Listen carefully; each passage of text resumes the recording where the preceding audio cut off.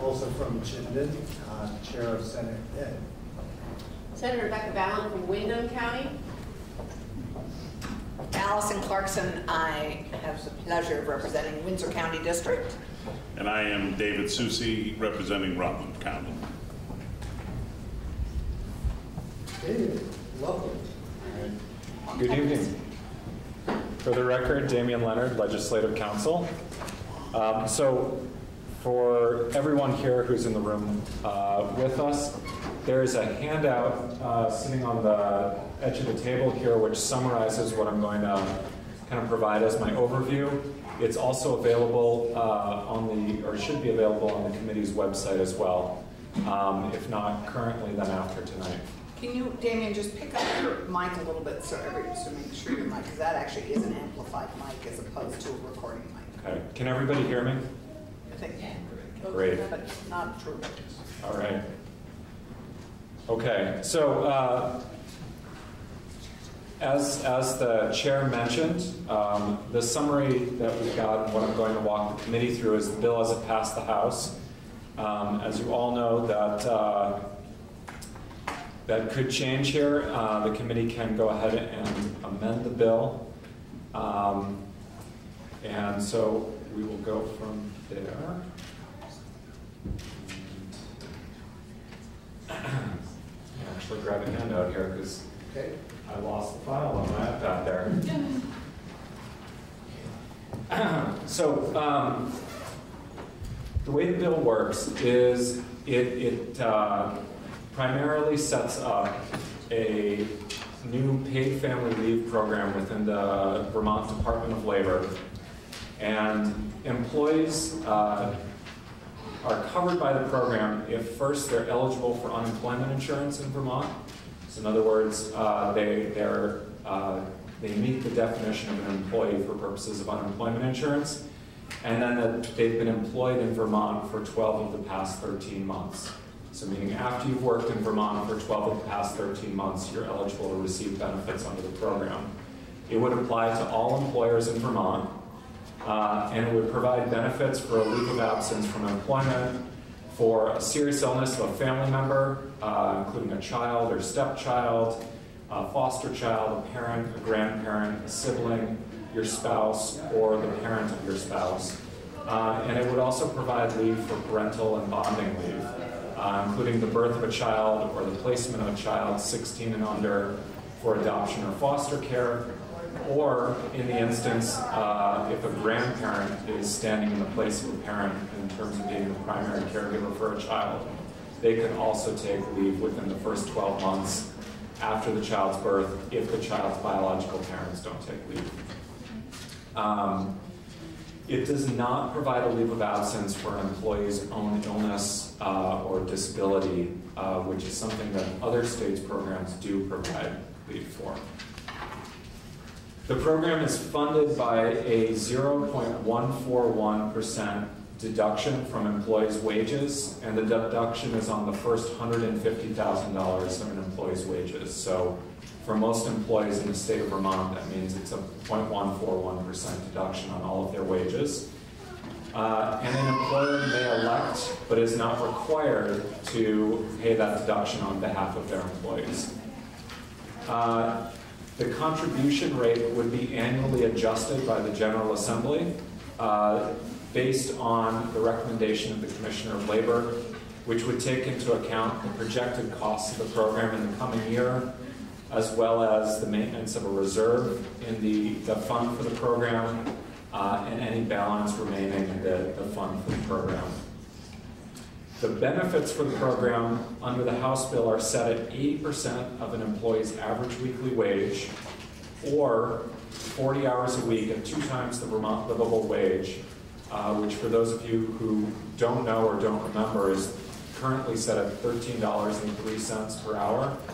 Um, this is a wage that's set by uh, statutory formula and then determined by our joint fiscal office every two years.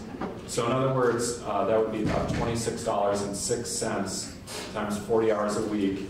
And it's 80% of the average weekly wage or that two times the Vermont livable wage, whichever's less.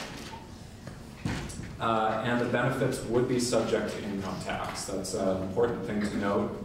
Um, and the benefits are provided for up to six weeks of parental or family care leave uh, and could be used, and this is six weeks within any 12 month period. So, in other words, if you have a child and take six weeks of leave, and then you have another child two weeks, two years later, not two weeks, two years later, you would have another six weeks of leave in that 12 month period, assuming you haven't used leave in the interim for family care. Uh, and the Department of Labor, like I said earlier, would be processing and administering the benefits.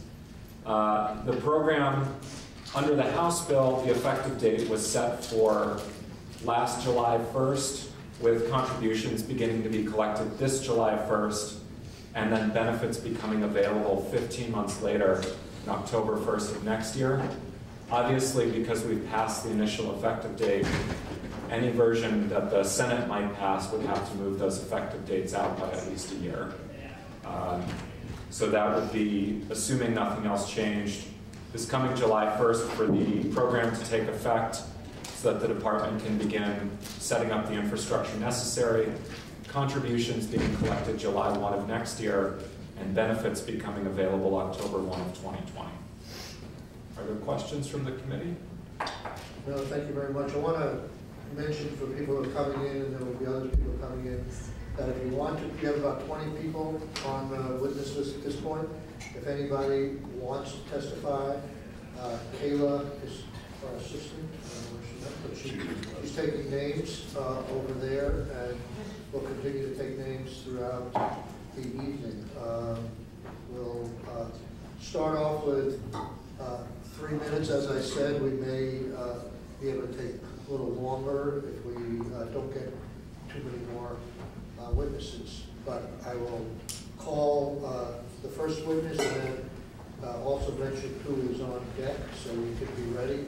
Our first witness is Karen Lafayette, followed by uh, Karen Casey.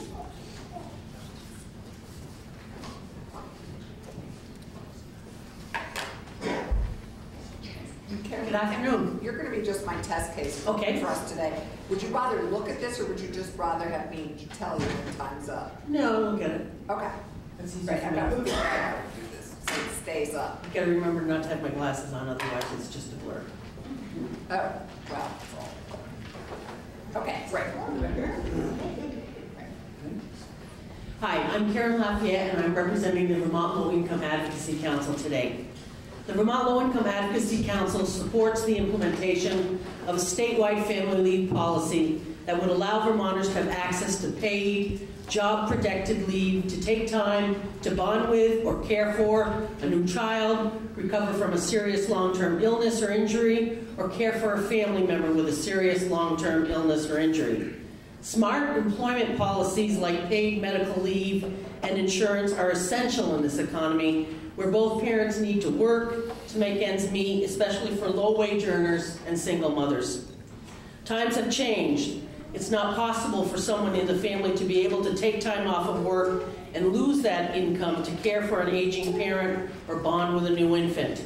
Having access to parental and medical leave are critical in today's working environment if we want to support women in the workforce, if we want to support young families, if we want to strengthen the economy and our businesses. Being able to meet your family responsibilities and remain financially secure has all kinds of social, physical, and mental well-being benefits. Having that time could be the difference between a young mother being able to reduce her anxiety and worry, breastfeed her baby, and realizing the well-documented benefits that 12 weeks of bonding creates. It could be the difference between an elder parent having to spend time in a costly nursing home when they could be cared for for a short period of time in their own home. One of the key elements of Vermont paid proposal, um, as introduced, was the 100% wage replacement.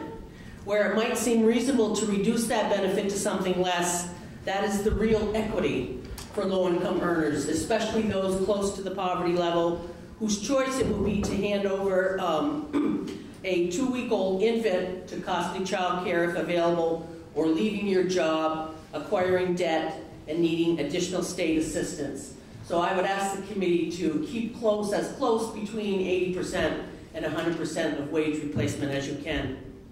If we want uh, an economy that works for all Vermonters, if we want people to have choices and be able to remain in the workforce, if we want to support small business that can't afford to provide these benefits alone, if we want happy and healthy families to remain in and come to our state, then creating a statewide insurance program is the way to ensure universal access to an important benefit. Thank you. Thank you very much. Uh, We have uh, Karen Casey, followed by Tiffany Sharp. Okay, wait a minute, hold on. Technical malfunction here. Okay.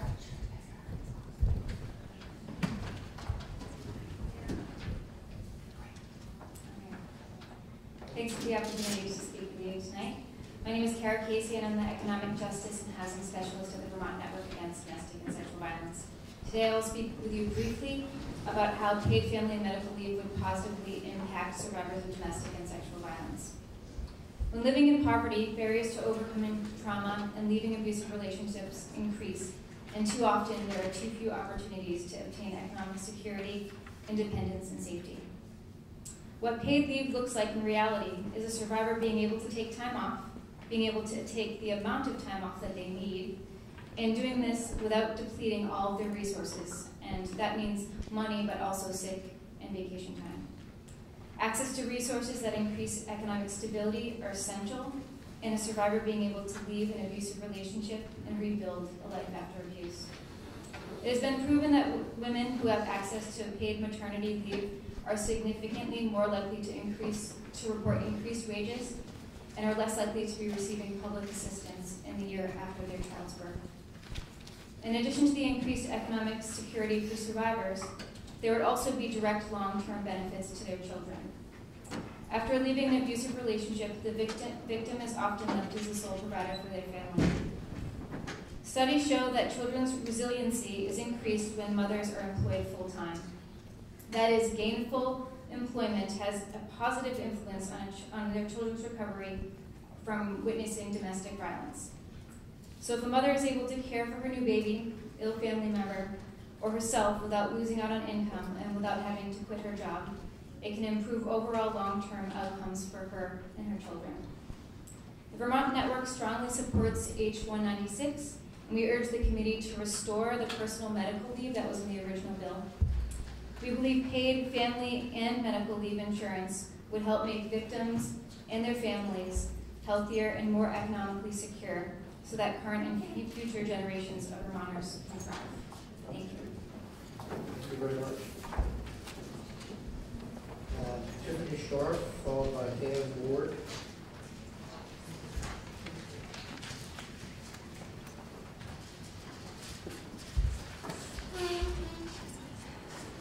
Good evening. My name is Tiffany Sharp, and I live in Fairfax with my husband and our three sons. I have been working at UVM full-time for the past 13 years.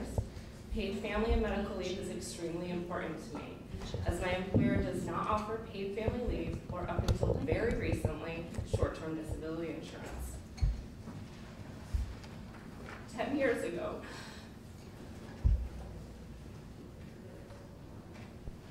my Take your time. Take it easy. My first son was born. My ex-husband and I were fairly low income and didn't have much saved up, both monetarily and in accrued paid time off. Looking back, I must have been crazy as I thought I'd be able to take a mere four weeks for maternity leave. Little did I know that our baby would suffer a severe case of meconial and spent several weeks in the NICU. By the time he was released, my leave was basically over, and I had to ask my employer for additional unpaid time off. The financial instability led to increased stress and eventually a diagnosis of postpartum depression. The financial burden could have been prevented had a family and medical leave plan been in place. In 2017, I was pregnant with my second son, due in April. When we first decided to have another child, I told my husband we would need to find a way to fund my maternity leave because I didn't want to be in the same situation as me and my ex-husband had been in. He agreed and we saved some of the money we had from refinancing our home and invested it in hopes of growing what we already had. A few weeks before my due date, my husband hurt his shoulder at work and was out off and on for a couple of weeks, doing light duty work as was available. The limited hours forced us to dip into our maternity leave money. Because he was working some hours, he was unable to claim workers' compensation. A week overdue, our son came into the world quick, quickly and a bit dramatic via emergency C-section. Because of the C-section, my husband ended up taking more time off than planned to take care of me as well as our newborn. The paid family and medical leave program would be a game changer for families like ours. Instead of going massively into debt and negatively impacting the economy in our area, we would have been able to stay current on our bills. The program would allow families to experience infinitely less stress and let them focus on bonding with their child or caring for an ill family member.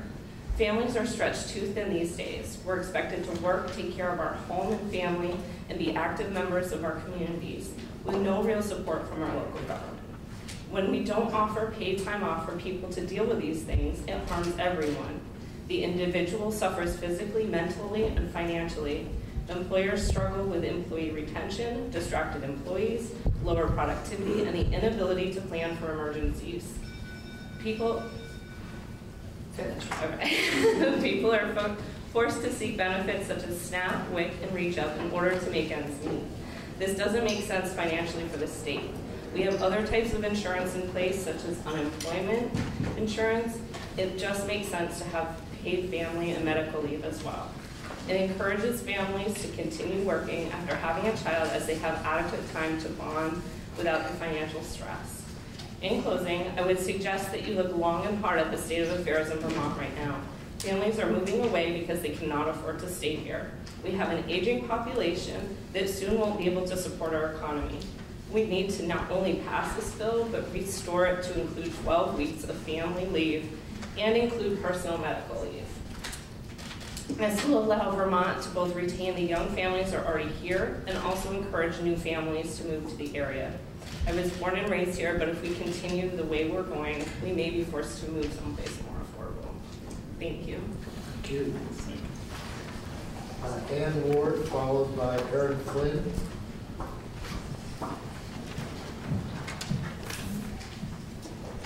Hello, Hi. my name is Ann Ward and I live in Berlin, Vermont. In just under six years, I have parented 23 children through foster care and turned down calls for placements of dozens more. I'm what's called a community foster parent and I take children ages 0 through 17. Being a community foster parent means that when a child enters my home to live with my family for an undetermined amount of time, they've never even met us before. The trauma and tragedy of that is incomprehensible. Paid family leave that includes the placement of a child or children in a home for foster care would mean more family members, grandparents, aunts and uncles, people who actually know and already love the children would be able to offer their homes instead of asking strangers like me to stabilize their children. The foster family shortage would diminish, and some of the trauma of entering foster care would be mitigated for the children. Many of my former foster children have moved on from my home to live with biofamily, family of origin, as they should whenever possible. When a child enters foster care, their needs are intense and immediate, especially when they're newborns. Why should a grandparent have to send a brand new baby to live with me until the baby is old enough for daycare in order to maintain their employment? We must have a system that supports maintaining families. I'm honored to serve my community and support children by being a foster parent, but doing so has had an undeniable impact on my employment and income. My work is critically important to me. For me, eligibility for leave time would not impact my drive to work, but rather reduce much of the stress of the first few weeks of intense appointments and meetings that accompany adding a new child or children to my home while I continue to work. We need to do better for Vermont's children and families. Please support paid family leave for all types of families. Thank you. Thank you, thank you for the work you do. Yeah. Uh, Erin Flynn, uh, followed by Chloe White.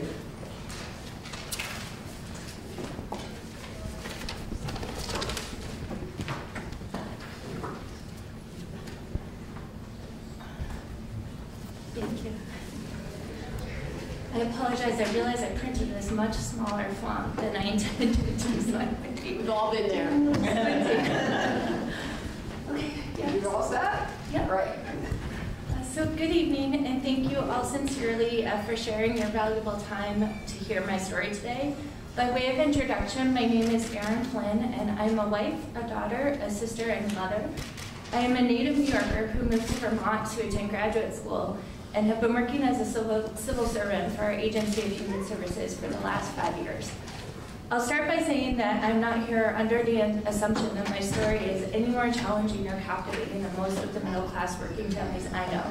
And I hope I don't misspeak when I say I'm here representing them as much as I am myself and my family. I would also like to acknowledge that I'm not naive to the fact that you all, as leaders and policymakers, are faced with unlimited problems and needs for which you have very limited resources to address. I know that you grapple with complex poverties, uh, I'm sorry, complex problems such as poverty, homelessness, and access to basic needs such as affordable health care and education on a daily basis. My testimony here today is not meant to discount those hard truths. I'm here today because I personal, personally believe that we as a collective society need to shift our thinking and culture around what it means to be a full-time working mother in this time and this place in our history. Since I was a young kid, I was regularly asked, what do you want to be when you grow up? I've never imagined myself not working. The drive to build a professional identity and the desire to find self-worth worth and satisfaction through the contributions of my service has defined me for much of my adult life. Behind all of that, as one in a family of four kids who grew up with a very large extended family, having children of my own was a given, one day when I was ready. Eventually, that far off distant concept um, of how people manage to work and raise families in modern times was right in front of my face, beginning with my preparations for maternity leave three years ago. Well, there are many benefits that I'm very fortunate to receive as, as a state employee. Maternity leave is not one of them. After a lot of brainstorming and soul searching, here's what my maternity leave plan looked like. Start working an extra 10 hours a week to build up comp, comp time so I could have enough paid time off to stay home with my daughter as long as possible. This included a stint of bed rest, and I worked up until the day I gave birth. I returned to work just eight, eight weeks later and somehow struggled through the guilt, mental, and physical trauma and just sheer exhaustion that would be my norm for the next year. And then I'll spend the next three years in mental health counseling and physical therapy trying to recover. We did all this because we did not want to start our young family off with a burden of debt that would impede us from providing for our daughter's future. We did not want to lose what savings we had accumulated to support our goal of one day becoming homeowners. While returning to work eight weeks after childbirth was one of the hardest choices I've ever made, I know there are many who are forced to make harder and unthinkable choices on a daily basis. Oh, I'm out of time.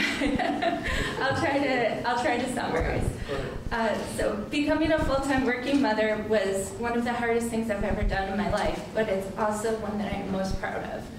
I'm proud to stand before you on Equal Pay Day to proclaim that I love my family and I love my job. Both these things are true at the same time. I firmly believe that no woman should have to choose between growing her career and growing her family. And I believe that this starts with ensuring that all women have the right to enough paid time off from their jobs to attend the birth of their children, recover, and bond with their babies before returning to work. I'm not an economist, but it doesn't take a very advanced statistical analysis to know that birthing and raising children is one of the primary root causes contributing to the gender wage gap. All I have to do is open my eyes and look around to know that that is true. So just to illustrate my point, and, and then I'll summarize here, um, I just want to share with you what it would mean for me to have a second child. As things stand right now, any leave would be completely unpaid. This is because nearly every single hour of paid time off I have accrued is accounted for in the almost 31 days that my daughter's daycare center is closed annually. Combined with the at least monthly sick days that come along with raising a child, toddler in a child care setting, not only would any time I were to take be unpaid, but I would now also have the expense of $1,000 a month to pay someone else to take care of my toddler while I stayed at home with my newborn. It's been a long and difficult journey to find a child care provider that we really love, and I just wouldn't put my daughter nor her provider through the experience of pulling her out to stay home for just a few weeks so that we could go through the agony of finding a provider all over again. Thus, I'm faced with the same choices I was faced with before, but under even more difficult circumstances. I could stop working and stay home to care for my children. I could burden my young family with thousands of dollars of debt, or I could not have another kid. For reasons I've already defined, none of these options work well for me. And I think I'll, I'll stop there, even though I had more to say. And I thank you very much. Thank You you. can submit, if you'd be kind enough to submit your testimony to Kayla, that would be great electronically. If ever, yeah, that's true for everybody. If- Okay, Especially if there are things you wanted to say that you didn't get to say. thank you so much. And that goes for anybody who wants to submit written testimony or doesn't want to testify, they can also submit that as well. We already have a packet uh, as a good start. Um, Chloe White, followed by David Rose.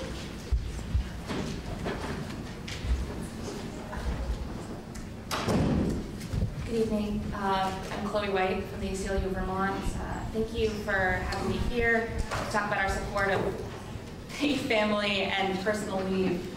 Uh, We think paid family and personal leave is crucial to true economic and reproductive justice. No one working a full-time job should have to choose um, to risk job loss or financial ruin in order to recuperate from illness or care for their loved ones, whether a newborn baby or a sick spouse or child. Um, we think that paid family and personal leave would help to eliminate that cruel choice. This is a question of basic fairness for all work, for all workers, but this bill is particularly important for women. Um, I think it's very auspicious that you're having this hearing today on Equal Pay Day, where white women finally make uh, the same amount of money that uh, men did in 2017. So today, more women work full-time than ever before, yet they continue to bear disproportionately the burden of caring for children and sick family members. Paid leave enhances women's economic equality and provides better economic security for all workers. With paid leave, employees are healthier and more productive, and employers can save money through retaining better staff. Um, Nationwide, only 12% of private sector workers have paid parental and family leave, and only about 4 in 10 have access to paid medical leave. It's past time for Vermont to act as a leader and lift up Vermont workers and families. So we ask you to please support paid family and personal leave for the benefit of all Vermonters. Thank you. Thank you very much. David Rose, followed by Jill Charbonneau.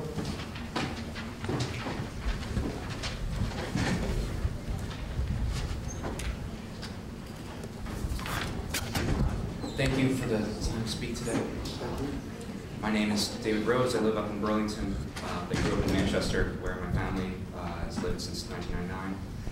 My father is a network administrator at the Vermont Country Store, and my mother is a higher educator in the local school system. It was also her job in March of 2006 when she received a call in the early evening from the local ski mountain and learned that my father had gone off a jump, landed on his back and neck, and broken his T11 and T12 vertebrae. He had been airlifted to Dartmouth and was paralyzed from the chest down.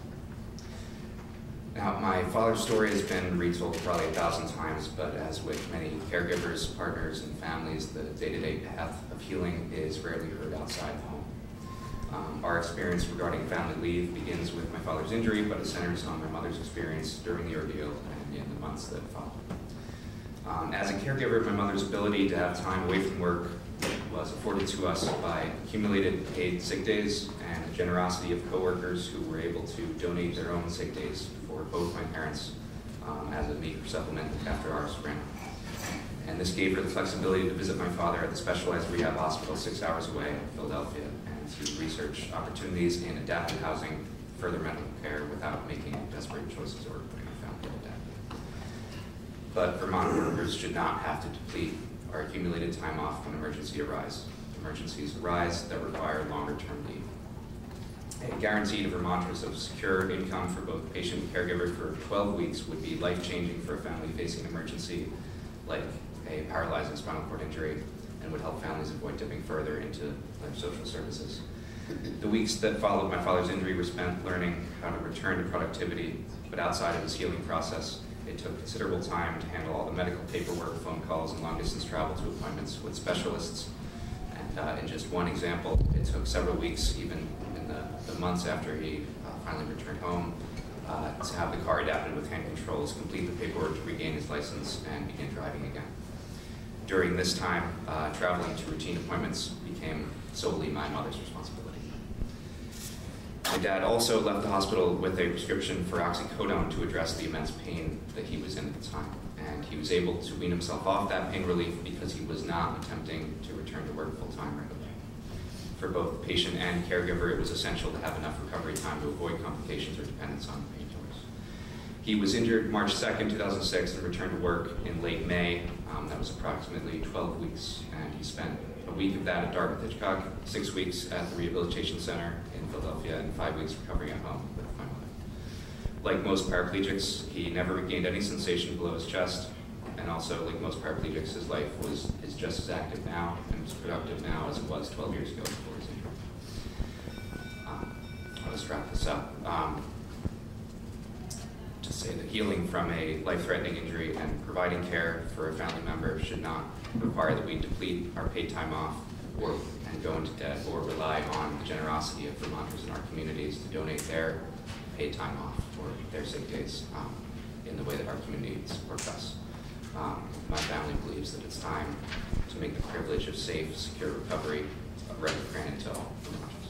Thank you. Thank you, Jill Charbonneau, followed by Elizabeth Casey.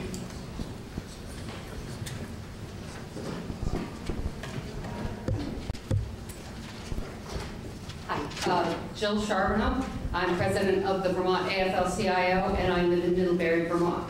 Uh, I would like to applaud the House bill for expanding the definition of family, but to say, however, without expanding the ability of workers to take this leave, the hours, we'd like to see the hours of eligibility for how much work time work in a year to be cut. Many workers, uh, I can tell you, both union and non-union construction workers look no further than Rock of Ages to find people who routinely work, who have gaps in their work, where they're unemployed, but have a job through the rest of the year. And they would be ineligible to use this, but they would be eligible to pay for it. So I ask you to include them. And I also ask you to include personal uh, illness. I have a story to tell, like other people here, that I have not told publicly. Um, October 19, 2000, my significant other killed himself. And I worked for the post office, I had sick leave, I had vacation time. I could take care of my family and still have an income. And that was crucial to our recovery, and I think everybody deserves that. Thank you. Thank you, Jill. Uh, Elizabeth Casey, followed by Katie Wozniak.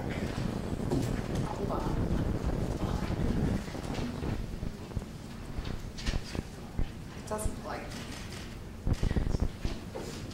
Did you really say you Start. did a good job with this last I did it, I did it, I did a good job, it's just it won't stop. Sorry, I'm, I'm really trying. That- Um, My name is Elizabeth Casey, and I'm a Winooski resident. For the past 15 years, I've been honored to provide early care and education for young children. I have been a witness to the magic of- a child developing and parents growing with families. So when it came time to have a family of my own, I thought I would know what to expect. I had seen the hardships and the struggles. I knew the challenges that lay ahead to find childcare. I knew that the United States is ranked at the bottom of developed nations when it comes to providing paid family medical leave. I have a bachelor's in family science and a master's in early childhood. Certainly knowing all this, I would be able to navigate the first year of our child's life. We put off starting a family for a long time. We, like so many, had student loans. We wanted to buy a house and made the financially safe decision to settle for a duplex. When we finally got pregnant, we met with a medical insurance representative to get a clear picture of what childbirth would cost. Despite all the preparation, we were uncertain how we would be able to afford not receiving full paychecks for an extended amount of time. After all, most early childhood educators aren't making a living wage, let alone living off 60% of that wage. Our daughter was born on December 5th of 2015. She was 43 weeks when, we were, when she was delivered. I had been working up until I went into labor. One of the many challenges with not having paid family leave is that it means every day of work matters. Can you imagine if I would have started using my vacation time at 38 weeks? I could have been waiting around five weeks for our daughter to come, leaving me with zero vacation. Oh, how I wished I would have had taken time to relax and feel refreshed as I entered into this new amazing role. My daughter arrived healthy, and we had the usual challenges adjusting to life as parents. Luckily, she was born and tax season arrived. We got our taxes done as fast as we could that year, and our return helped us get through my 12 weeks of leave. I received six weeks' pay at 60%, six weeks unpaid, and was able to keep my job, but every penny mattered during that time. My husband used his vacation time he accrued working at UVM to stay at home with our daughter after I went back to work. When he returned to work, we still didn't have childcare. We had put our names on almost 10 different provider wait lists upon learning of our pregnancy. No one had openings. After talking with my boss, she agreed to give me the summer off and return at the start of the school year in the fall. Shortly after, I got a call from our provider. She had a spot open in her home in Burlington. Unfortunately, because I committed to taking the summer off, my teaching spot was already filled for the summer. In order to hold my childcare spot, I would have to pay almost three months of tuition, roughly $3,000. We used the rest of our tax return and accepted help from our family. We were lucky at all. It worked out for our family. In preparation for sharing our family story tonight, I reached out to friends and asked them to share their stories with me. Each one of them shared their struggles. Despite being familiar, familiar with the system and navigating it and planning ahead, they all shared the financial burden of, was stressful. They wished they didn't have to go back to work only to be forced into pumping in closets, cars, and laundry rooms just for two ounces of breast milk. Each one of these women, regardless of their challenges, said that they were lucky ones. In the end, maybe it was that they were lucky, but they were also resilient. They made the best of challenging situations because they had to, because of the system forces us to if we want to financially contribute to our family. This piece of legislation is more than just about being in the beginning of the end of life for loved ones. It's about creating a system that demonstrates that it cares for the well-being of each community member. In 2015, before my daughter was born, I had the privilege to be part of the Early Childhood Leadership Institute through the Snelling Center. One of the discussions surrounded identifying our values. Our presenter prompted us to discern on our values. He stated, if we know, want to know what we value, take a look at our wallet and our calendar. I want to thank everyone in this room tonight for putting this event on their calendar. I value healthy families, I value community, and I want Vermont to share those values too, not only in theory, but in the way it governs. This bill, however small a step, is imperative to creating a Vermont that is competitive and thriving, and I strongly urge to, for you to support this legislation and extend it to 12 weeks. Thank you. Thank you very Katie said, said, uh, Wozniak. Wozniak, followed by Eric Spurl. My name is Katie Wozniak. I'm from Northfield. I was born and raised in Vermont. I left for many years but came back here to raise my family. I currently work for a small family-run business with a very generous benefit package for the size of the business, but it currently does not have an option for any long-term leave. I support paid family and medical leave insurance in Vermont for many reasons. In 2002, my mother was diagnosed with cancer. She used all of her sick leave, vacation, and personal leave in order to receive treatments. Once she ran out of those hours, her, her coworkers generally, generously donated their sick leave to her, and then she ran out of those hours as well. Fortunately for her, she worked for an amazing boss, some of you might know Annie Noonan, who refused to let her go without pay. She continued to re receive a paycheck until she passed away a few months after her diagnosis. There are not many small businesses and organizations that are able to be that generous. The bill as passed for the House removed the personal leave portion of the bill. I strongly urge you to put that language back in. For many employees in Vermont, uh, a cancer diagnosis means working through chemo and radiation treatments, coming to work because they can't, can't afford to stay home, even though they're nauseous. And risk? Okay, take take the time. They risk exposure to viruses and bacteria with weakened immune systems. I can guarantee you that everyone in this room knows someone who has gone through these treatments. And it is unimaginable to me that if not for Annie, my mother would have had to go back to work just to earn enough money to live. She was Take time. I wasn't even close to crying when I started this. She was blessed to get to focus on trying to survive cancer and not paying her bills. Should we want that for all Vermonters struggling with illness? I have two beautiful daughters. When my first daughter was born, I took four months off from my job, unpaid. I had to apply for WIC to help with the grocery bills. With my second daughter, I only took two months off because we just couldn't afford to take any more time. I feel blessed that I was able to get as much time with him as I did because I've heard from so many other women who could only take weeks off because they couldn't afford more. Unfortunately, staying home was not even an option for my husband as we needed at least one paycheck to survive. He had to miss out on those first precious months, as is the case for so many fathers.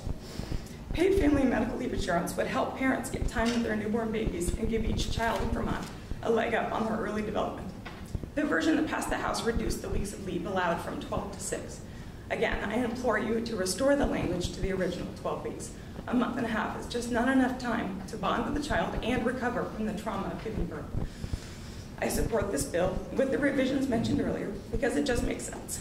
If we want young people and families to come to Vermont to live or stay in Vermont, we have to find a way to make it easier for them. If we want people to recover from illness and return to work, we need to allow them that option. If we want our children to thrive, we need to let their parents spend time with them when they're born. It's just the right thing to do. Please support this bill, and thank you for your time. Eric Sproul, Sproul, followed by Faye Longo. Thank you, Chairman, and members of the Senate Committee for accepting my testimony today. My name is Eric Spurl, and I'm a single 35-year-old father of two little ones, five and seven.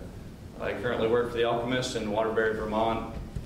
I was born and raised in Vermont. I'm proud to say I've worked and lived here my entire life.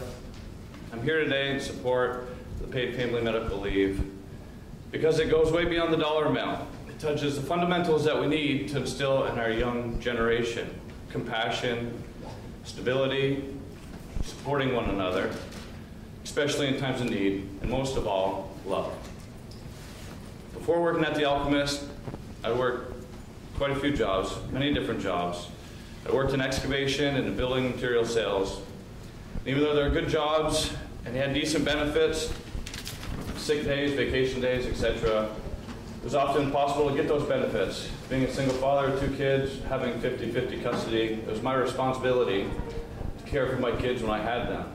There are times when my kids were sick and had health issues, and my employer would ask me if their mother could take the time off, knowing that we weren't together, as if it were her responsibility. I felt helpless at times. It was like pulling teeth to get time off, and they wouldn't pay unless it was myself that was sick, and I had a doctor's note. So I'd use vacation time, and when I didn't have vacation time, I'd go without pay. And as fair as you need to provide for your kids, for your loved ones, care when they're sick, and you don't worry about, and you have to worry about whether or not you're going to get paid or if you'll still have job security. Being a single father with only one income, this situation threatened my livelihood and my ability to provide a safe and secure place for my children. I also was unfortunate to have witnessed what too many families do, my family not being able to be there for their loved ones when they were needed most. Came down to my family members either losing their employment or not being able to be there for their mother, something that seems barbaric to have to decide in this day and age. Today, I work at The Alchemist, and I've been there for about two years, and I'm very grateful that they offer a generous benefits package, which includes sick paid time for you and your family, as well as paid family medical leave. And after having my past experiments, experiences with other employment, this is a huge blessing. To be able to provide the love and care that my family needs in troubled times and have a company, which I like to call my family, that supports and recognizes the need for that. I have stability for my children, knowing I can be there for them physically and financially if, God forbid, a medical situation occurs. Now my children know that if something happens, I'll be there. They don't have to worry about being with someone other than me until I'm done work or whatever the situation. Or them having to be there, or them having me be there physically, but my mind being preoccupied with the stress of our livelihood. I don't want to worry I don't have to worry about seeing others go through what my family and mother, many others have had to go through in times of need when something happens to a loved one. Paid medical leave goes way beyond the money. You can put a dollar in anyone's pocket. They'll spend it how they see fit because it's theirs. It's a false sense of security. We can give people a system that can make a difference in time of need. We can provide real stability for our families, stability, security that parents can give to their children or parents when they're sick without the burden of worry. Through the paid family medical leave, we have an opportunity to come together for the greater good of everyone and be able to be there for our families, young and old. That's selfless and priceless. In closing, I'm a voice among many who see a clear present need for paid family medical leave. I wish everyone could have the benefit that family gives peace and mind security. Thank you very much. Faye Longo, uh, followed by Chelsea Frisbee. I'm only gonna go over the three minutes, but only slightly. Now we see how rigorous they are. Very, very, very good on time, so go ahead. Thank you. How about you don't start it for a little while? I'm just I'm joking. It's easier, it's put it next, no. Thank you. Um, my name is Faye Longo. I'm a native Vermonter and a resident of East Barre.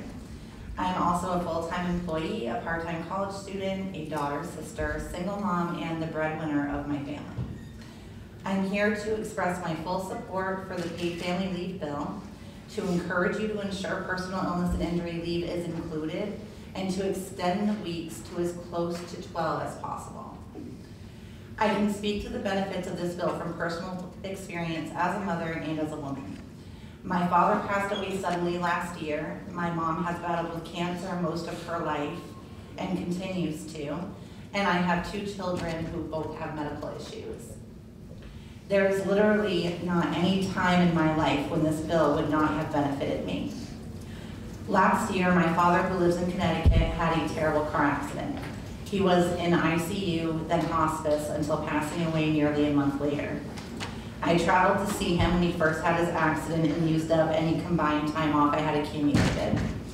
I then took unpaid time to be with him and to care for him in his final weeks of life. Finally, I had to return to work. I simply couldn't afford to take any more time. And my father passed away the day after I returned. Paid family leave would have helped me in more ways than I can express.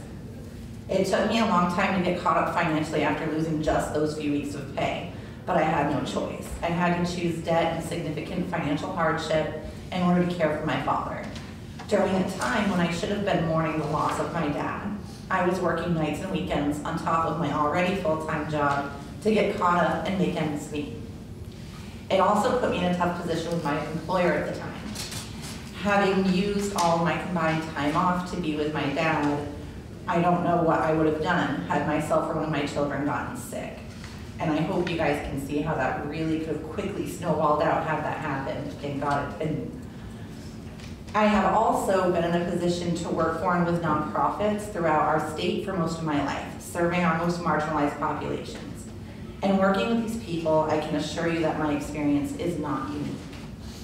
According to the Center for American Progress, 55% of the 20 or so million people who took unpaid leave through the Family Medical Leave Act used it for their own medical condition. Only 18% used it to care for the health of a child, spouse, or parent, which is why leaving in the personal illness and injury is so important. Also, female-headed households with dependents are consistently the poorest households, not just in Vermont, but across our nation and the world. This remains true, even though mothers are now the majority breadwinners in families and make up nearly half of the workforce. As Kate Bahn of the Center for American Progress states in her article, Economics of Misogyny, despite the central role of women in our economy, no serious effort has been made to modernize our work to reflect the needs of women, and indeed all people, to care for their families, and I would add, personally, for themselves. More and more women are entering the workforce every day, and more and more of them are single parents or primary caregivers of some sort. This is a pattern that is not going to change. The face of our workforce becomes ever more feminine by the day. Vermont has always been a state of firsts, but when it comes to supporting women and families, we have failed. We must start passing legislation like House Bill 196 to turn this grave injustice around and to show our commitment to supporting women and their families in our state and in our workforce. Imagine 30 years from now, when my daughter Amira is my age, I pray that she won't face the struggle that I did as her loved one lies dying. I hope that she would be able to take advantage of House Bill 196 and focus on saying goodbye to her loved one rather than worrying how she'll keep the bills paid. Again, I implore you to pass the bill to ensure personal illness and injury leave is part of it and to increase it to 12 weeks. And thank you for hearing my testimony. Told you only slightly over. You were perfect. Thank you.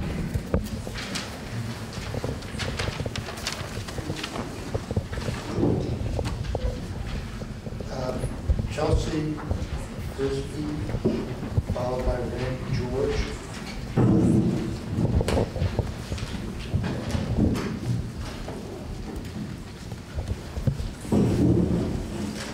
My name is Chelsea Frisbee. I live in Winooski, and uh, I just want to start by saying thank you for hearing all of our stories. Um, Two years ago, almost to the day, I got a phone call from my mom, Susan Woodworth. Uh, She had pancreatic cancer. She lived for five months after that. In the first month, we waited. We waited for more test results that eventually confirmed that it was stage four, terminal. In the second month, she started a trial for chemo. In the third month, after throwing up every day for three weeks and losing all quality of life, she made the decision to end treatments. In the fourth month, she went on hospice, and at the end of the fifth month, with her family surrounding her in her beloved cabin in Pittsford, Vermont, she died at the age of 60 years old. I had the incredible fortune to have a very supportive employer, the Intervale Center in Burlington. I was able to take intermittent unpaid leave through the Family Medical Leave Act to spend time caring for my mom the last months of her life. I could run up the hill to UVM Medical Center while she was there receiving treatments. I could drive down to Rutland when she was hospitalized, and I could spend the last week of her life with my family taking shifts by her bedside. It wasn't easy. After her diagnosis, I got out my calendar and my calculator, and I figured out how many days I could take off without pay, trying to guess at how long she would live. That is an experience I would wish upon no one. Trying to balance your own financial needs and the need to be with a loved one during an illness. I'm among one of the lucky ones, though. I could make it work without extreme financial hardship. Millions of Americans and thousands of Vermonters don't have that privilege, people who are living paycheck to paycheck. When the inevitable happens, be it personal illness, a family member who's in an accident, a new baby who's sick, or a new baby who's healthy, people have to make unimaginable choices during some of the hardest times of their lives. And it doesn't have to be that way. We have the power to make things just a little bit easier for Vermonters who face inevitable challenges. Do you have a loved one? A child, a parent, a spouse? If they're diagnosed with terminal cancer, what sort of support do you hope to have in order to take care of them and spend time with them during their final months? I'm here today because I want my friends and family and coworkers and people I've never met to be able to take paid leave when life's inevitable challenges come up. I want things to be just a little bit easier for working Vermont families. I can't cure cancer. I can't change what happened to my mom. But I can use the experience I had to urge you to do the right thing, the compassionate thing for Vermont's families, by supporting this bill and by making it better, including intermittent leave, more weeks, and personal family medical leave will make the bill stronger and go a long way to helping Vermont's families. Thank you. Thank you. Randy George, followed by Lisa Mason.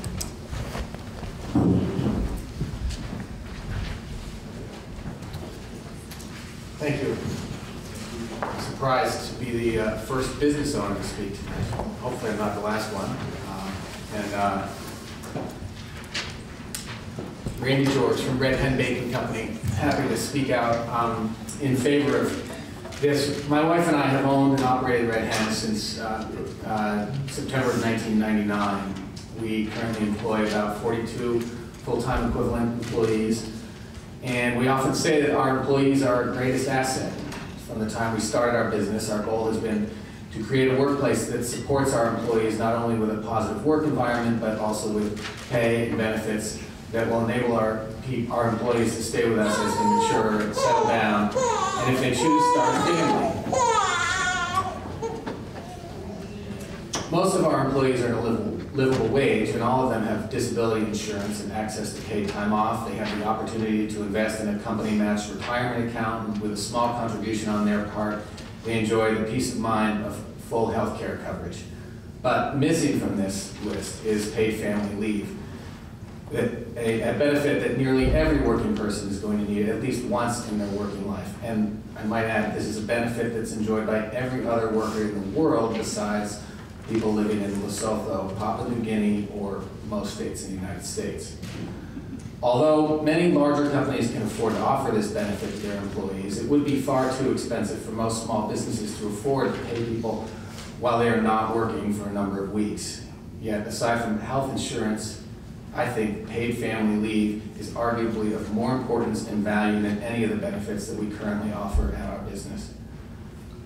At some point in our careers, most of us will be faced with an event that compels or forces us to take time away from work. At Red Hen, we've seen workers face these kind of dilemmas regularly. In just the last five years, six of our employees have had babies. Each time, these new parents, men or women, have dealt not only with the strain of having a new baby in the house, but they've also been faced with the dilemma of how to maintain their income. Although we would love to offer them a solution as their employer, our cash flow could not support such an expense. Fortunately, a solution has been offered, and that's H-196, of course. With the insurance that this bill would provide, employees in Vermont would be able to take time away from work when their family needs them most without a concern for how they will pay their bills and put food on the table. If ever there was a good example of strength in numbers, this is it. For so many businesses, pooling all of our resources is really the only way we can ever get our employees the coverage, coverage that they need and deserve. I would also like to add that we supported H-196 as it was originally proposed in the House. We would like to see some of what we see as the essential elements of the original bill restored. First on that list for me is that is to have the employees be able to take uh, leave to recover from their own non-work related illnesses or injuries. We also think it's important for the leave time to be at least eight weeks, if not the originally proposed 12. I know that, that making these changes will have a small impact on the cost of the program, but the increase will be small in return for these significant improvements. As currently written with the 0.141% payroll deduction for the cost of an employee making $24,000 a year, that's about $12 an hour, this would just be $33.84 annually. But if we restore the aforementioned benefits, uh, it, it, will increase somewhat, but the fact is that even at the original 0.93% figure, this is a, a, heck of a deal. So I want to add that we continue to uh, support a model that shares the cost between the employer and the employee. If, the portion, if that portion of the bill is not restored, I predict that many employers would see the value in contributing to this cost and join Red Hen in doing so, thereby reducing the burden on employees even further. In either case, we feel that the value of this insurance cannot be overstated. Such a plan is really the only way we can make sure that all Vermonters, regardless of income level and place of employment, can be ensured that they will be able to care for themselves and their family when the need arises. Thank you. Thank you very much. Thank you for Red Hen. Yo, oh my God. The downfall of many of us. It makes the best sticky buns in the entire world. Well, I'll try one. Yeah. Lisa Mason, followed by Brenda Siegel. Hi, I'm Lisa Mason. I'm the owner of Fiddleheads Cuisine in Moretown, so the second business owner to go. Um, it's a small business, a business of one. Um, and I love being a small business owner. I like helping the economy grow. Um, I like being connected to the members of my community. It's been an incredibly successful and rewarding venture over the past seven years where I've been full-time on my own. However, being self-employed comes with a lot of challenges. As a self-employed entrepreneur, there's no paid time off for illness or parental leave, not to mention access to affordable health care. Being eight months pregnant, with my second child, with no paid maternity leave in sight again, um, this is a challenge that has never been more relevant to me personally. It's almost on a monthly basis that I consider giving up the idea of giving of my business and getting a job somewhere else that has benefits. Um, it's truly difficult to make ends meet without them. But I love what I do, and I love knowing that what I um, contribute that I'm contributing to the health and the happiness of my community members, but also the health of the Vermont economy. Um, when my husband and I decided to start a family, it was a major concern that we wouldn't have any paid time off between the two of us. But we knew it was something we wanted to do and a step we wanted to take. So we did it, and we continue to struggle financially as a result. At the same time as we have rising expenses due to a growing family, we also have to drain our savings to pay for maternity leave, um, as well as the cost of pregnancy and healthcare. Um, so this leaves us really vulnerable to any unexpected financial burdens that come up, whether it's house-related, um, God forbid someone gets sick, anything like that. Um, and we're also, you know, obviously the lucky ones. We have the option to take eight weeks off. Um, a lot of people just can't go eight weeks without any source of income. Um, so it really puts at risk our mental and our physical health as well as the health of our children. Um, we suffer uh, from the result of not having the space and time to bond as a new family. While the birth of a child is a time of endless love and joy, the transition into parenthood is equally full of overwhelming challenges and immense adjustments. A family and medical leave insurance program would be a life-changing support for the many entrepreneurs and self-employed business owners in Vermont and ultimately help young professionals stay in our great state and attracting families to settle here. So I really urge that we put back in self-employed business owners into the bill. Um, family and medical leave insurance is not complicated. Other states have taken the lead, and Vermont has many good models to learn from. There's no need to prolong this hardship. The positive impacts of supporting growing families will have ripple effects throughout our society. We must move forward for the sake of our workforce, families, and economy. And I think I've cried at every single one of these testimonies. I don't know if it's the hormones and the power of it. Thank you. Thank you. Uh, Brenda Siegel, followed by Brenda Churchill.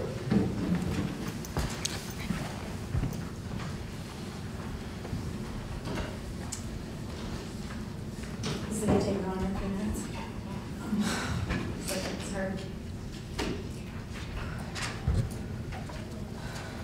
I'm Brenda Siegel, I live in Newfane, Vermont. I'm also a business owner, I direct the Southern Vermont Dance Festival. One month ago, almost to the day, my nephew Kaya, the son of my brother who passed away 20 years ago and whom I loved like my own, died. It was unexpected because he had been doing extremely well and had been stable for almost a year. He died after a long battle with mental illness and eventually the disease of addiction. And after nearly an entire year of sobriety, neither his mother or I had worked in an entire month. I am self-employed, she is not. I had to go to my subcontracted work at Mount Snow just two weeks after his death because I couldn't afford not to, but that's the only time that I have worked. And I'm at a loss now for how I will make up the income. I was sorry to see that bereavement is not included in this bill, as we know that we are not the only family that's experiencing this type of tragic loss in Vermont. Throughout his lifetime, my family, especially his mother and I, have had to juggle who would miss work to care for him. When that task fell on me, it was in part because I was self-employed and would not lose my job if I missed work. That did not leave me without financial burden. I still would have to make up my work pulling all-nighters to get it all done, which left me at considerable health risk. This is often how the burden falls because the risk of losing one's job is too great. In 2013, Kaya fell off of a roof and broke 27 bones. He had to have brain surgery, restructure his nose, have his upper palate rebuilt, forehead and nose essentially rebuilt, and steel rod in his arm and his other arm was broken as well. This was an injury sustained from his illness, not from work. And because of work that we could not miss, his mother and I had to take turns sitting at Dartmouth during surgeries. Either of us had to miss some of the surgeries and throughout his stay.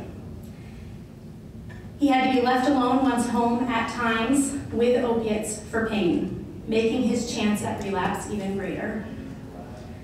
Though this is a more extreme example of the times we had to care for him, there were times when he wanted, when we wanted to just be with him because he was struggling and needed us. There were times that someone needed to get him to treatment and we could not. There were times when he needed someone to be at the hospital with him, and there were times when we had no choice but to miss work, miss pay, and miss opportunities to care for him with no chance at recovering these losses. Kaya was an amazing kid and young man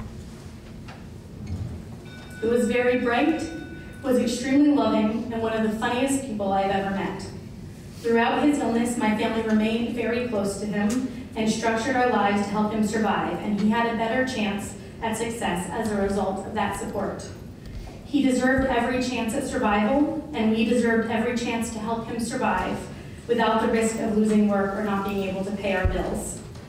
Not only is the burden on our families great when they are loved or when, when they or a loved one are ill, but the burden on our state becomes great as well as fam- as well as families have to make as families have to make tough choices to leave stable jobs and be on state assistance so that their loved ones will have the care that they need.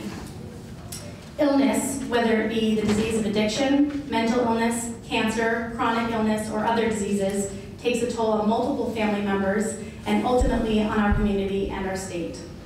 The bill that was passed in the House and sent to the committee is a start. It is still missing key elements that I hope the committee will consider including.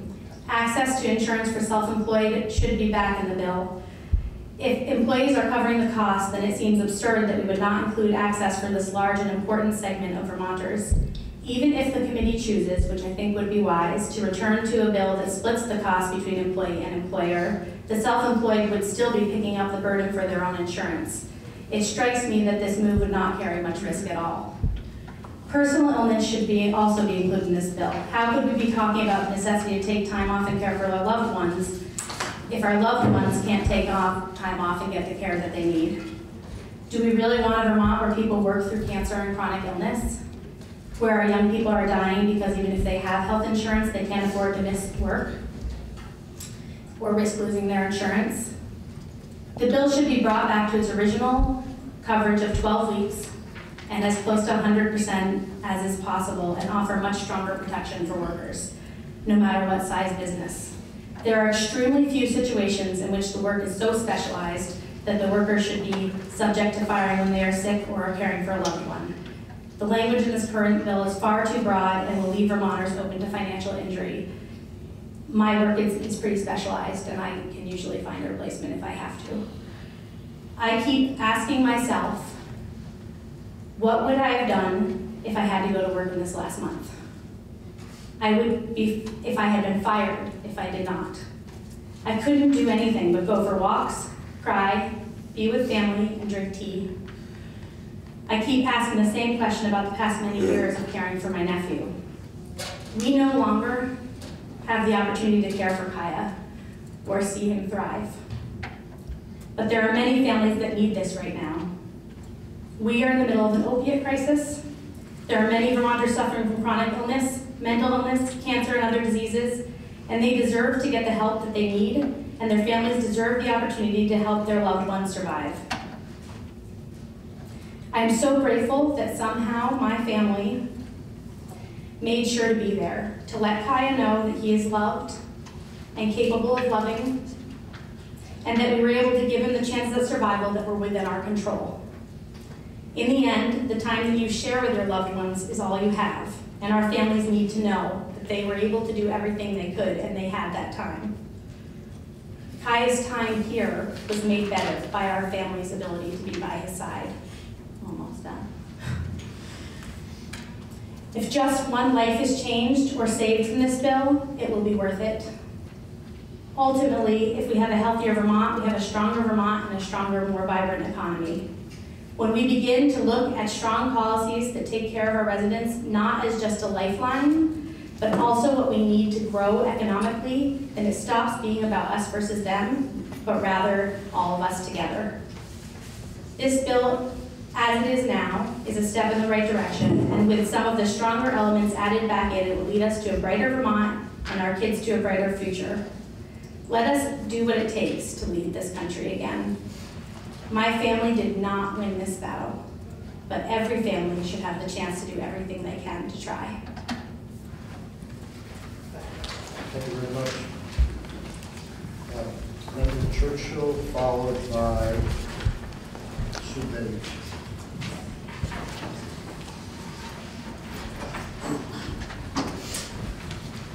Good evening. My name is Brenda Churchill from Bakersfield, Vermont. I'm here to testify as a private citizen and a member of the LGBTQ community. Thank you for having this public hearing. I want to tell you about my experience with paid family leave over the past 35 years of my life. I could sum it up by simply stating that I have been covered by several collective bargaining agreements, the result of being a union member for these past 35 years. These agreements have included paid family medical leave insurance. The benefits brought me and my family the ability to pay bills on time, buy food, and most importantly, get healthy again. I will admit that having a family medical leave benefit was a privilege that went with good wages and health insurance as a union member. To repeat, my paid family leave was in combination with good wages and good health insurance. Without all three of these things, I would not be alive to testify here this evening. Paid family leave is a cornerstone benefit that clearly uh, that clearly every member of my LGBTQ community. Consider this past influenza season. How many people came to work sick? How many of you were sick? How many folks got sick because coworkers came to work sick? How many kids got left home when they were sick and couldn't go to school and parents could not afford to care and could not lose their wage? Lost time, extra child care, wages that don't come in, is a vicious cycle of poverty that is perpetuated without paid family insurance. I never experienced any of that, but my LGBTQ community does, and I see the effects on family and on these kids. I know you do too. The cost of this needed insurance is very small, but the benefit to everyone, family, individuals, even employers is huge. I urge you to please support H196 for paid family leave. Thank you for listening. What, can I ask what what union you were part of? Uh, two unions, uh, UAW, uh, which is United Auto Workers, and Communication Workers of America. Uh, Sue Bette, and followed by Cheryl Rinaldi. Did I pronounce that right? Bette? Yep. Perfectly. Thank you.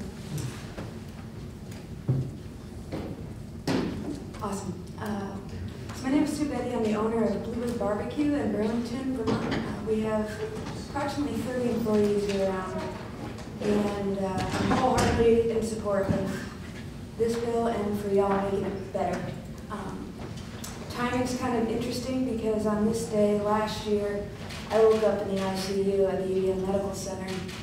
Uh, The previous night, my partner had a pretty serious injury and a traumatic brain injury. So we were in the hospital for three days and then discharged without a plan, uh, which really created a pretty serious stress situation for myself, being a business owner and now a full-time caregiver. Uh, for the first month, she was what they call looping, which is saying the same questions over and over again. Obviously, she couldn't be left alone, so I was there. And uh, just so grateful for the privilege of having my role in my company to take the time that I needed to care for my partner.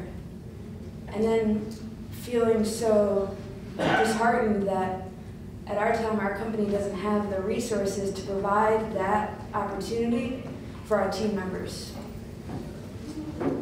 It was probably about a six-month period of intense caregiving where members of our, my team helped support me. And I'm here to ask you to help small business owners like myself help create safe work environments where people can thrive with their whole lives and take the time off that they need. I kind of raced back to work because I felt like I needed to be there and I, I wanted to lead by example, but I wasn't there. I wasn't able to physically, really, mentally be there. I was kind of pretty stressed. I don't think it does anyone any good to rush back to work. I don't think I, I don't think it really helps our economy. I think the time off helps our economy. It's kind of like quite often we all feel like we're on a treadmill in life. Well, when you have an injury like this, or a traumatic event like this, or a child, the treadmill doesn't go faster, it starts going backwards. And you have to really work to stay on top and not fall behind. So I just ask you to really, really move this bill. I think it's incredibly important, I think it's a game changer, just make it better. And uh, as an employer, you have our support. Like Randy, we happily contribute. I think this is going to make Vermont such a better place to work and live. Thank you. Appreciate that, thank you. Shelley Rinaldi, followed by Carrie Carpenter.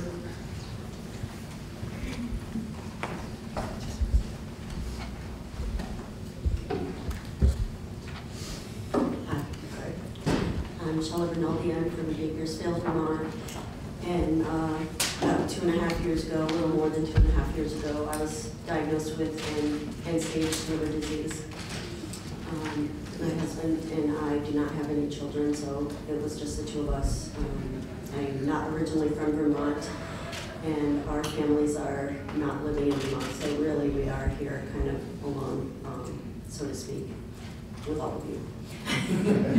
Um, But um, as you can imagine, there's a lot to uh, a liver transplant. Uh, A lot of testing, a lot of time off from work. Um, I actually could not work at that point, I was too sick, but um, my husband was working, and he, he did not have uh, family leave pay. So uh, anytime that we, uh, also, just for um, clarity's sake, uh, I had to go to Boston for my transplant. um, uh, So anytime we had to take, uh, we had a lot of testing uh, to go through before the actual surgery.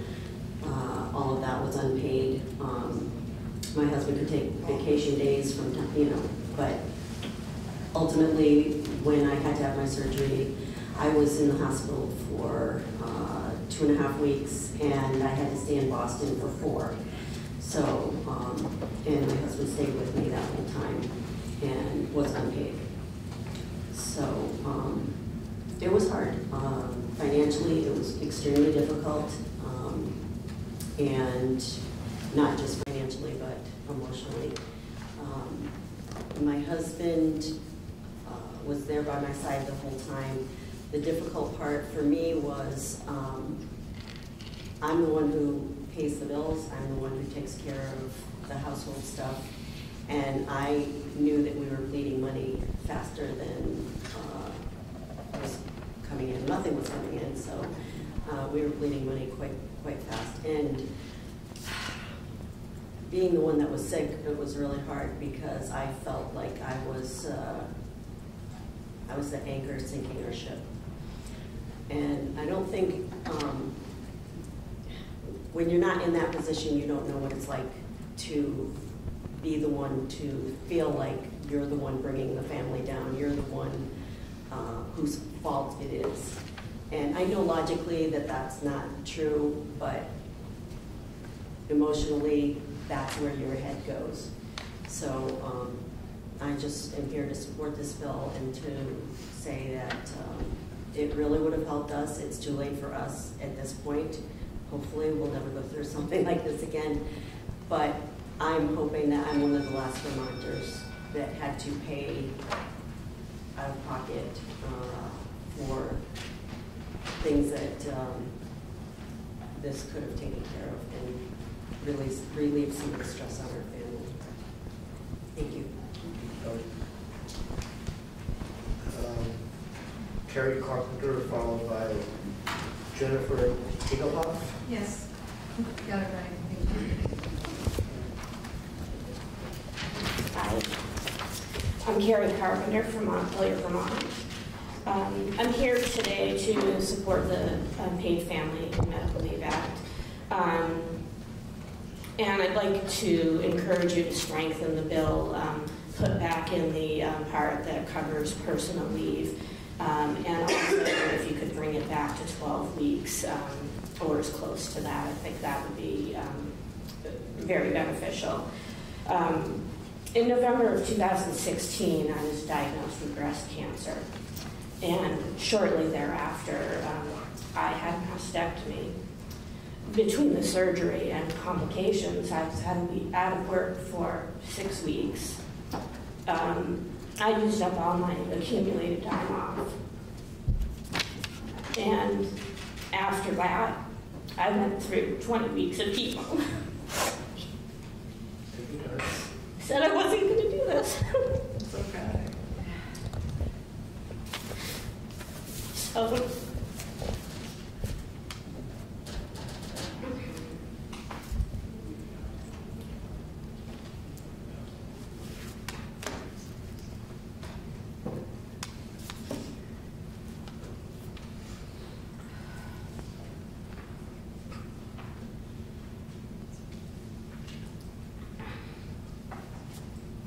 so 20 weeks of chemotherapy, followed by five and a half weeks of radiation therapy, which is five days a week. I had no disability. So I was forced to work through all of this. Because if I didn't work, I didn't have a paycheck. So, uh, as a single mother, yeah, as a single mother of a teenage daughter, this is no. And I'll tell you the number of people that said to me, I don't know how you do this, how you're still working. And that was my answer. I don't have a choice.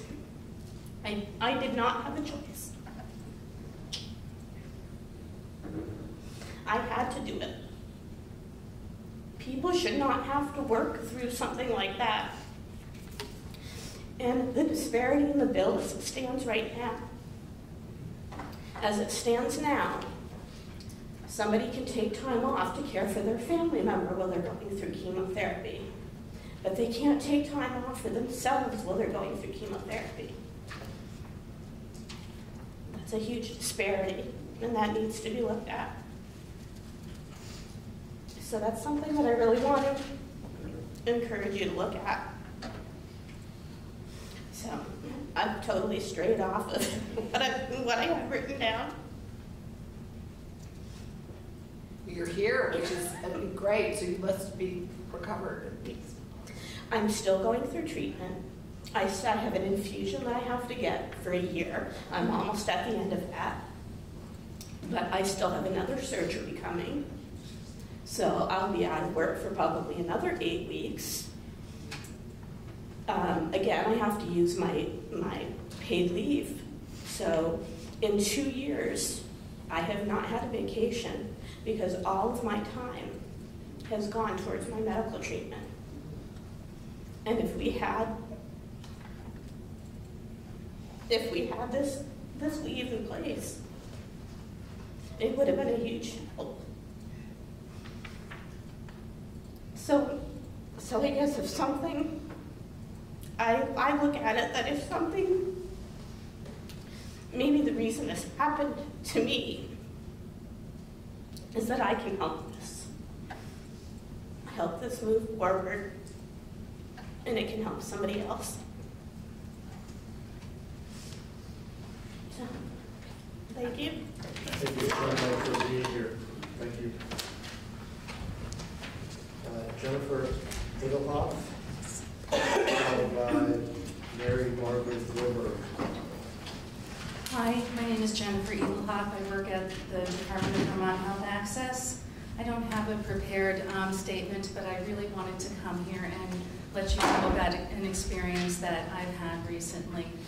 I work in the pharmacy unit. I've worked for Department of Vermont Health Access for 13 years. People come to me and ask, how can you help me with this? How can I do this? I need this type of health care. I've always been able to help people. Um, till a few, about a month ago, the, uh, a gentleman that works in our cafe at um, Waterbury State Office Complex came to me and told me that he desperately had to have surgery. And did, he, did I know of any way that he could get some funding to cover um, the cost of the six weeks he needed to take off? I told him I would look into it. I researched every possible avenue. The only thing I could come back to tell him is that I will help you set up a GoFundMe site. Okay?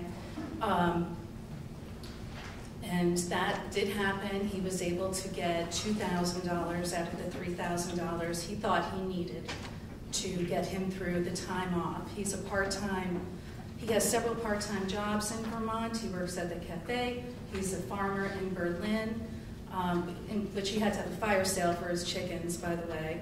And he also is a chef in local um, restaurants. Okay, so he's doing very well. Um, he's actually going to um, get back to work before he thought he would have needed to. But it was um, it was um, major abdominal surgery that he had to have. And another person I know who has cancer, um, she also did not have any um, disability insurance, although she was a full-time employee. Um, she has set up, she has a mar marketing degree, and she has done marketing in Vermont, and she has um, set up a site for herself where she has raised about $25,000, and um, which she will need. She will need that money. Um, I pay for my disability insurance. I pay a lot of money for it. Um, I'm so glad it's offered to me. I don't know what I would do. Um, it doesn't pay my whole salary, but it would pay um, enough that I could survive. It's just not fair that someone who works three or four jobs in Vermont doesn't, you know, is dependent on um, others' goodwill. And a lot of people just don't have the money to contribute to that. I can't tell you how many um, people have contributed to their health care costs out of pocket um, just because there's no other so resources for them. So please, please put in this um, bill the personal use of the funds and please push it to 12 weeks because that is just the minimum some people need. Thank you. You mentioned that you pay for your own disability insurance. You Yes, I do, as a state. state employee and they give you that option? Um, it's, I believe that I, my, is, it's through the union, I believe. Okay. Yes. And I'm a proud union member. I'm um, a council member, and I am the vice president of the Waterbury chapter. So um, this affects so many people, and um, as an activist, I just implore you to expand it, approve it, make it better, and help us. Thank you. Thank you. Uh, Mary Margaret Groberg, and this is our last witness. Is there anybody else that would like to testify? One, two? And our youngest. She's not testifying. She's 19 days old. You think she's not testifying. Oh, yeah. She's been quiet for the last hour and a half, and now she'll start. Um, my name is Mary Margaret Groberg. I live in Montpelier, and this is my daughter Molly, who was born two and a half weeks ago after a healthy pregnancy and an uncomplicated delivery at Central Vermont Medical Center. I'm very lucky to be part of the small minority of Vermonters who has access to paid family leave through my employer. But every day I think about how challenging and painful it would be if I had to be back at work right now. Only 19 days into what the medical profession agrees is a minimum six week recovery time. Access to unpaid leave, leave is access to no leave for almost everyone. Because it's so fresh for me, I thought it would be instructive for you to hear about what's going on with my body right now and what we're asking women to do when we deny them the ability to take sufficient time off to recover from childbirth. Because again, access to only unpaid leave is access to no leave.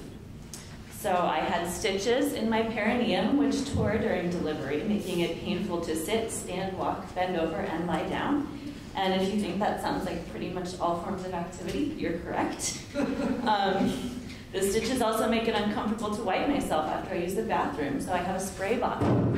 At best, this would be awkward and embarrassing to handle in the workplace, and for many Vermonters, their work environment probably precludes it altogether. I'm still bleeding as the inside of my uterus heals the wound where the placenta detached. I may continue to bleed for off and on for another three weeks. I'm told by my doctors that strenuous activity may cause the bleeding to increase, and if that happens, I should back off and take it easy. Activities that have so far caused such an increase in bleeding include walking my dog and eating dinner with my family. Imagine how being back at work would affect this recovery.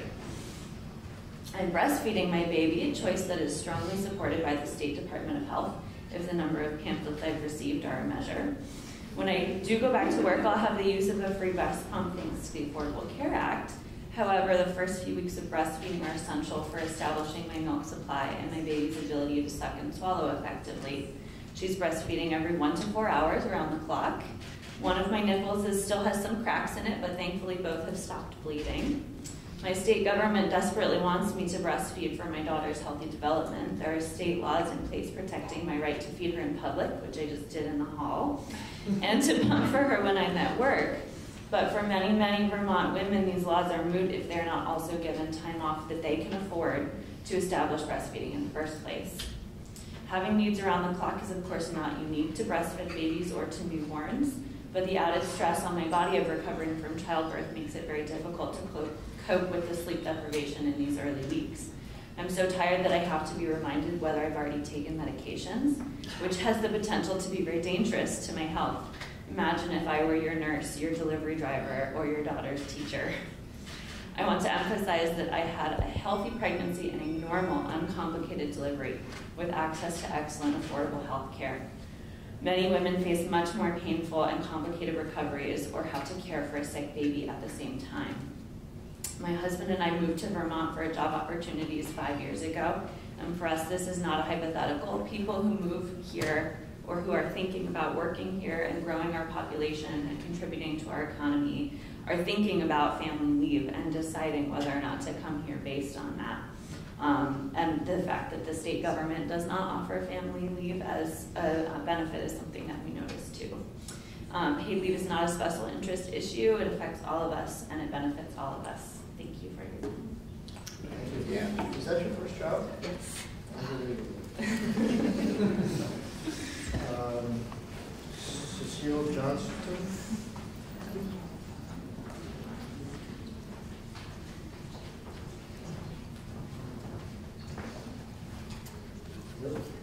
Good evening. I'm Cecile Johnston. I live in Cabot, Vermont. I am self-employed. I'm a seamstress just down the block, and um, I um, am very much in support of this bill in full, including 12 weeks and including people like me. And um, I, I, I'll come back a little bit, give you a little bit of background history, and just say that in um, 1999, I gave birth to a lovely baby girl who is now in the early college program. Um, at that time, my father and I both worked for nonprofits, and while I, I was pregnant, at the very end of my pregnancy, we both got hit with budget cuts, and we were both laid off. He was laid off completely. My job was cut to half time. It was pretty intense. And um, although he was eligible for unemployment, we were in a jam, and especially then when my daughter was born and our income went to zero, um, we ended up living on credit cards, we ended up declaring bankruptcy, and th these are things that just don't have to happen. You know, I mean, taking the stress, that kind of stress on families, the testimony has been incredibly compelling, and I'm not going to get too much more into detail with my personal situation.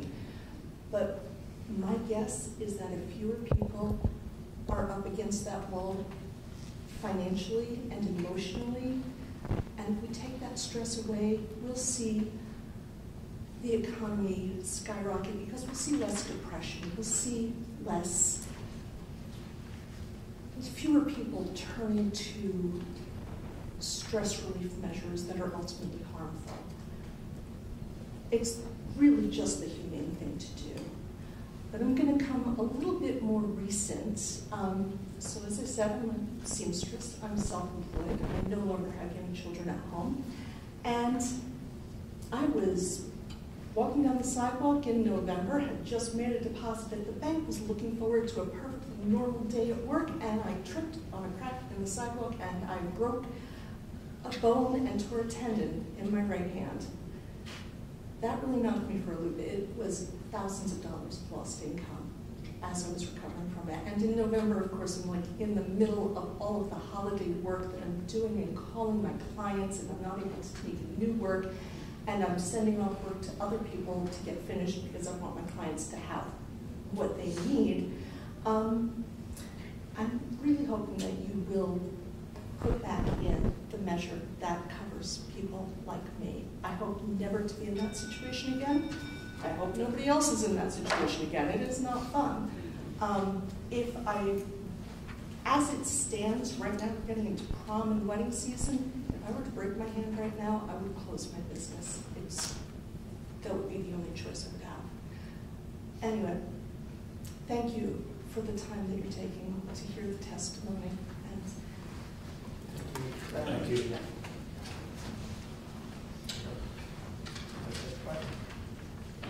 Weeks. Thank you.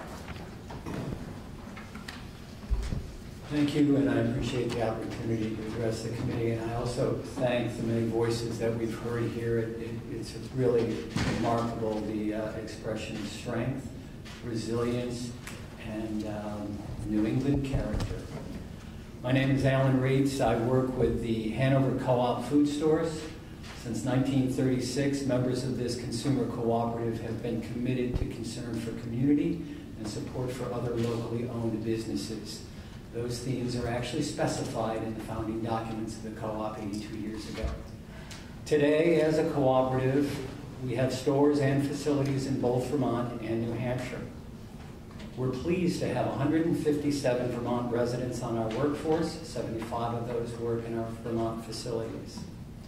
Looking beyond our mission statement or employment statistics, a business like ours also needs a strong local economy. Vermont producers and farms help make that possible. From Brattleboro to Grand Isle, Derby to Bennington, we source about 3,000 items from 231 Vermont businesses, food producers, and farms. The overwhelming majority of those Vermont businesses are small or tiny.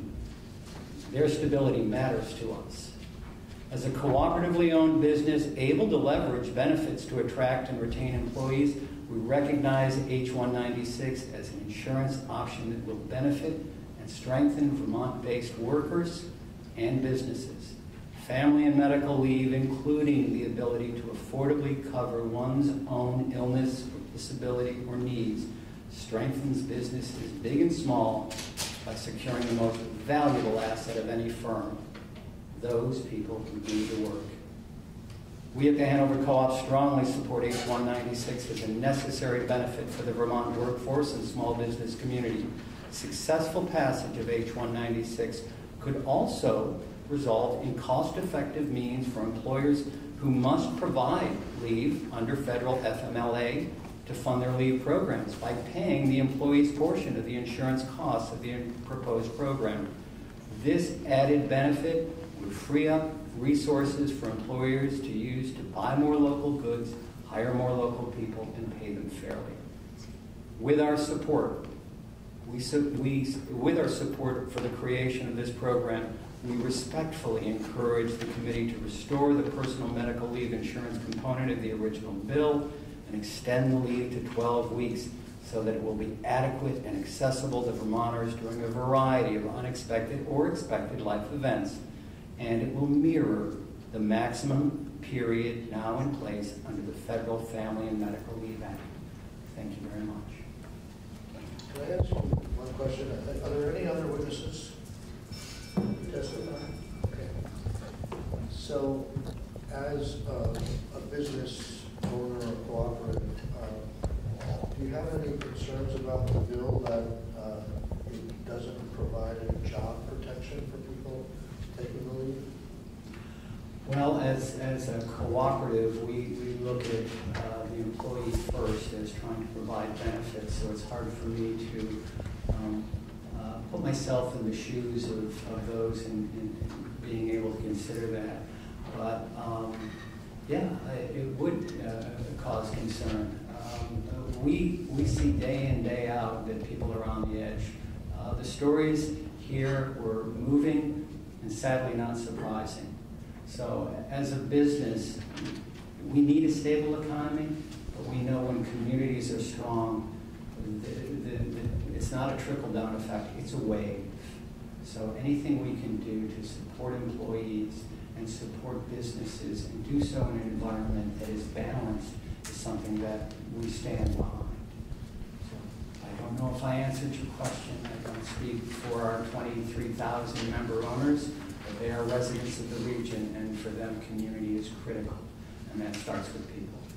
And, and- and just to be clear, there is job protection for people under the federal law. Yes, there is. But there's no added job protection for I, below that right, and not to, not to speak on behalf of others, I see this bill, and we see this bill as an important step in the right direction.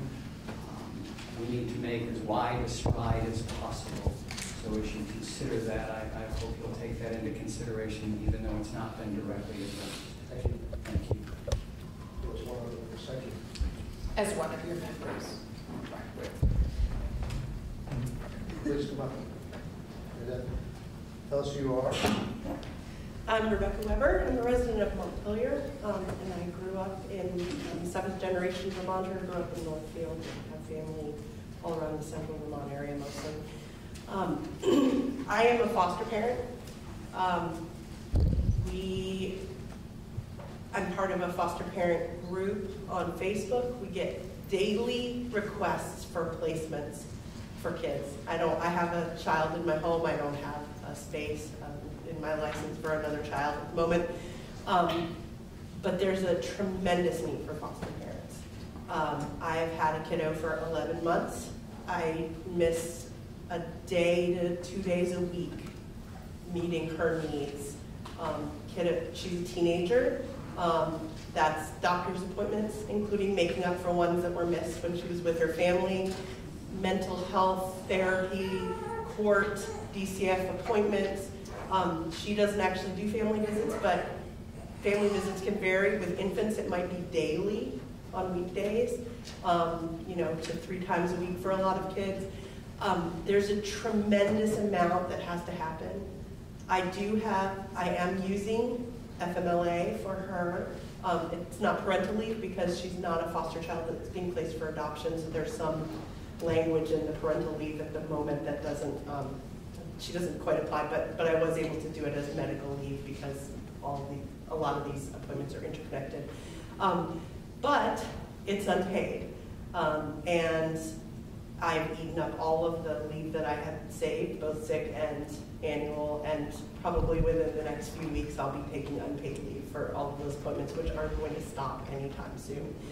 Um, and so I've had her for 11 months. I'll probably have her longer. But if I, if she left my home and another kid, if, and, and DCF asked if I could take another child, I would have to seriously consider whether I could do that. Not because I'm too heartbroken by the system or because I'm too worn out by the kids, because I cannot afford it. Um, and I do know a few families, foster families with a stay-at-home parent who spends their whole day driving kids around, but I know a lot more families like mine where people are taking leave and no matter how understanding your job is, it's still unpaid leave. Um, I do work for the state, um, so and, and the leave policy is, is lovely. It's unpaid. Um, I, I have short-term facility, that the person who spoke before, um, it's through the union, it's, it's AFLAC, and it's $40 a pay period, so $80 a month. If I have short-term disability, it doesn't cover any kind of FMLA for, you know, for any of what I'm actually doing. Um, and so I just, I think paid family leave is really something that we deserve to, to have in our communities. Every single one of us benefits from it because every single one of us has parents or kids or spouses or somebody who at some point is going to need our time or ourselves. Um, and I and I and I think also recognizing that foster parents have a special need and the ability of foster parents to continue to foster the kids in our communities who need to be fostered is dependent on their ability to, to continue to have a livelihood that isn't possible without paid family. Um, and I would encourage you to think about extending it to 12 weeks. Um, six weeks is a normal de- recovery, as uh, you know, someone testified. My short-term disability would be eight weeks if I had a cesarean section. So six weeks is, it, it, it seems like a lot until you're actually sick, or until you actually have a baby, or, and then it's not very much. Thanks. Thank you. Thank you very much. So that ends the hearing. I just want to say that uh, I want to thank everybody for coming out.